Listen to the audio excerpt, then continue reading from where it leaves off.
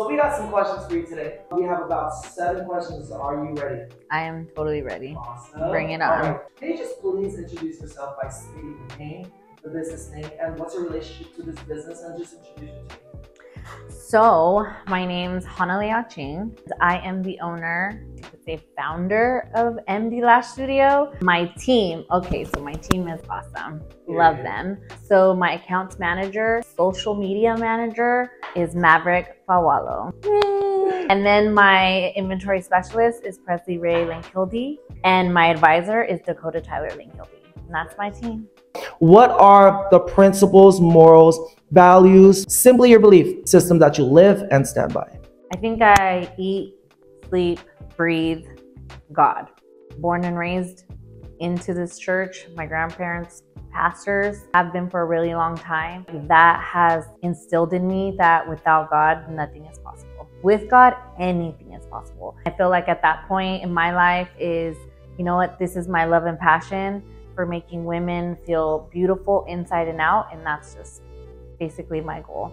What are some of your hobbies outside of owning your business, being a lash tech? I guess if you call shopping a hobby, that's me. Definitely love shopping. That retail therapy does it every time. I feel like sometimes you just have to love yourself, show yourself some love, and spend the day with yourself. Since I'm a mom of three, four, yeah, four, my main hobby, you know, is just loving myself and showing myself that grace every day as moms. When working a traditional nine to five job, what were the types of jobs you were doing before owning your own business? Let's see. How much time do you have? All First off, all I just want to put it out there that I did start in the car dealership business. Uh, I, I was 18 all the way up until like 36. And from there, I just learned everything part time receptionist to full time employee to 700 accounts to being the right hand to the owner of the dealerships, running five dealerships. So, yeah, you kind of get like an experience of customer service, you know, surveys, everything. So, I just utilize everything that I learned from there into running my business. I feel like at the end of the day, praying my way through this, getting God in the center of my business, I'm already a success. I love that. Was that it for that? Oh, yeah, for sure. Will you share exactly what it was for you that sparked your interest to getting into your own business and into this particular kind of industry?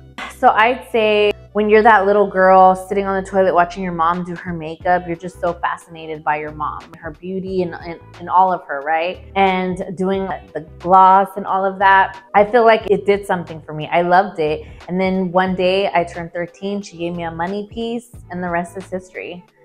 Now I'm over here running my lash business. I want to help women achieve their goal of feeling beautiful and matching the inside. The second to last question is just paint us the vision. Hmm. Where do you see yourself growing as a person and as a business within two to five years? I'd say in two years, I want to be a strong businesswoman slash mom. I feel like this business is my baby, but I also know right now taking the time to run my business and put my whole focus into it. I feel like if it comes down to having my clients feel loved, feel seen, feel heard, just create a space for them to come and just, you know, take that nap, just relax and the, having that peace of mind for two to three hours, I would love for them to do that. And I would love to create a space for that. But I also want them to feel God's love. The minute you step in my studio, you feel one with God and that peace. Like at the end of the day, that's all I want for my clients is just to have that relationship. Wow. That was like one of the best answers today. Our last question if you had anything else to share, some final thoughts and Mhm. encouragements to those watching and listening online, what would it be? Huh. Okay. So if you are a working mom, working that nine to five, and you have an idea of something you want to do or a business you want to get up and running, I'd say just go for it. Just do it. Because life is too short. And right now, we never know what's going to happen tomorrow. I would just get in there, have a plan, but most importantly, I would say pray your way through the day. Pray your way through the process because it will get hard. And there'll be days you want to throw in the towel, and then there'll be days that are like big wins. Keep moving forward, pray, and know that God is watching you and you'll succeed. I feel like at the end of the day, you will succeed. And just keep pushing. Thank you so much for joining me today. I'm so excited to see some of you guys or all of you in my lash bed. Please stay tuned. I have so many wonderful things coming up, so much exciting events, even giveaways. So please stay watching. God bless you guys. And until then, much love.